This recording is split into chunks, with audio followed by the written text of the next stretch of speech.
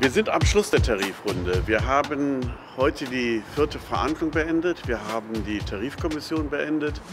Wir haben ein Ergebnis von 6,5 Prozent für 18 Monate. Wir haben für Juni und Juli zusammen 500 Euro Einmalzahlung. Das ist eine starke soziale Komponente für die unteren Entgeltgruppen.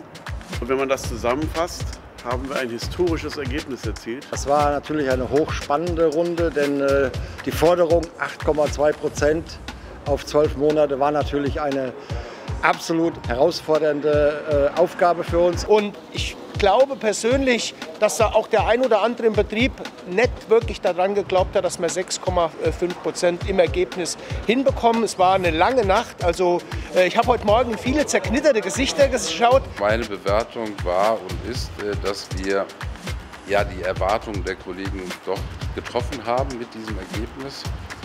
So, wir haben etwas erreicht, wo die Kollegen deutlich etwas in die Tasche bekommen. Ja, wir hatten natürlich ein bisschen äh, ne, kleines Problem, was die Laufzeit am Ende, finde ich, drei Monate kürzer wäre super gewesen, aber auch so ist das äh, ein Ergebnis, was ich gut vertreten kann. Das ist das beste Ergebnis seit 30 Jahren, die höchste Prozentzahl seit 30 Jahren. Und ich glaube, mit diesem Ergebnis haben wir einen Riesenschritt getan, wirklich einen Riesenschritt für eine bessere Zukunft. Ich aus der Jugend kann für mich sprechen, dass ich super, super stolz darauf bin, äh, solche starken Leute im Rücken zu haben. Wir haben in dieser Tarifrunde über 32.000 Kolleginnen und Kollegen in die Warnstreiks gebracht. Auch das ist historisch viel. Das waren schon mehr als wirtschaftliche Nadelstiche, die wir da gemacht haben.